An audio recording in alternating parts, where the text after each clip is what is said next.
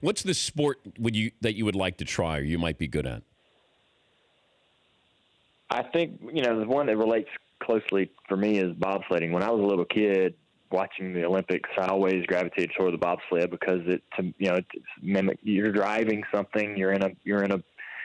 You're in some sort of vehicle, and I learned today that there's a lot of comparisons to how they actually train and have to set the sled up. I mean, it's as important that they're in shape and able to do what they do as a team together.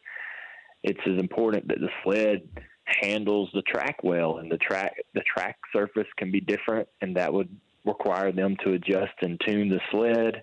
A lot of the guys that are actually have crew chiefs and mechanics, some of the crew chiefs actually have come from NASCAR backgrounds. One of the guys that I met today worked at Penske on the IndyCar side. Another guy that I met today that uh, actually knew my grandfather Robert Gee, that worked in NASCAR. So hmm. uh, it's pretty interesting. I think that that's where I would probably fit in the most.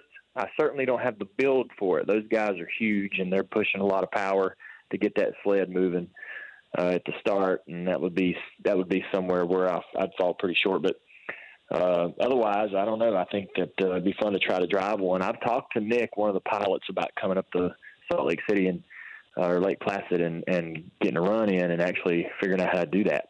You got four years for the next Winter Olympics. That's enough time for you, Junior. You're retired. Put on a little extra weight. You're ready to go. Well, you know, you, you can always hope and dream. I suppose. so I'm probably uh, I'm probably uh, I'm probably going to go up there and try it, and I'll let you know how how uh, how I do. For more Dan Patrick Show, tune to Audience Channel 239 on DirecTV or download the Dan Patrick Show app.